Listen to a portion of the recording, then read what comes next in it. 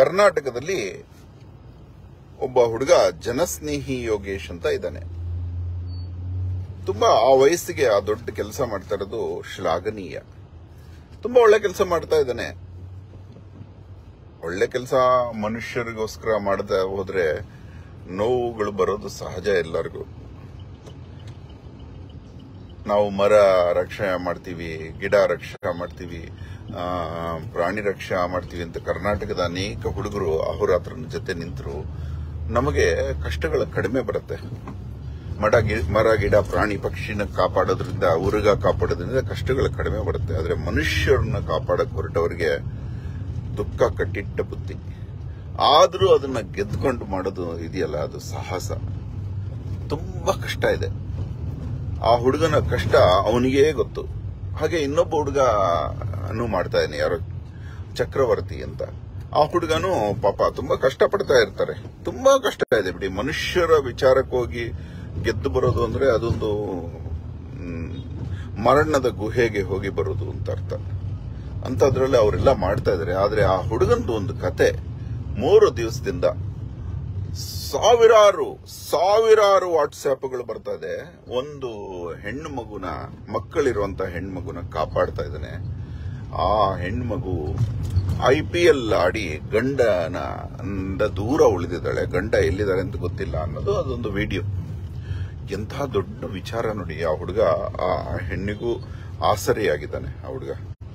ಅದು ಇಟ್ಕೊಳ್ಳೋಣ ಜನಸ್ನೇಹಿ ಯೋಗೇಶ, ಪಾಪ ಒಂದು ಹೆಣ್ಣನ್ನ ಇವತ್ತು ಕಾಪಾಡಿರ್ಬೋದು. ನೋಡಿ, ಇನ್ನು ಮುಂದೆ ಆ ಹುಡುಗನೇ ಹೇಳ್ತಾನೆ ನಿಮಗೆ, ಸಾವಿರಾರು ಜನ ಅವನ ಆಸರೆಯನ್ನು ಬಯಸಿ ಬರ್ತಾರೆ. ಕೋಟಿಗೊಬ್ರು ಅಂತ ಹುಡುಗರು ಇರ್ತಾರೆ. ನಗು ನಗುತ್ತಾ ಜನರು ಜನರು ಮುಟ್ಟಲು ಯೋಚಿಸುವಂತಹ ಜನನ ಮದರ್ ತೆರೆಸ ತರ ಮುಟ್ಟಿ ಪ್ರೀತಿ ಮಾಡಿ ಹಣ್ಣು ಹಣ್ಣು ಮುದುಕಿಯನ್ನು ಕೂಡ ಮಗು ತರ ಟ್ರೀಟ್ ಮಾಡಿ ಹೆಗಲ ಮೇಲೆ ಹೊತ್ತುಕೊಂಡು ಹೋಗ್ತಾನೆ ಪಾಪ.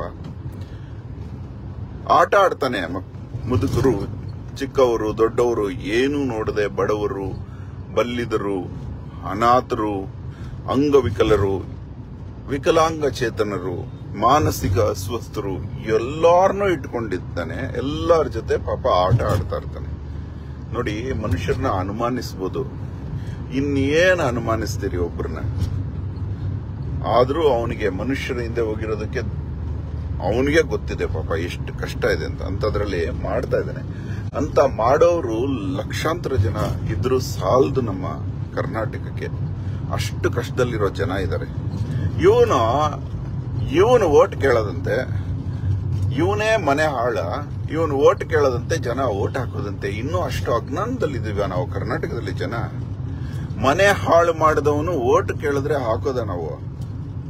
ಬೇಕು ಅಂತಾನೆ ಅವನು ಯಾರು ಓಟ್ ಕೇಳಿದ್ರೆ ಅವ್ರಿಗೆ ಮಾತ್ರ ಹಾಕ್ಬಾರ್ದು ನಾವು. ಅದನ್ನು ತಿಳ್ಕೊಳ್ಳಿ.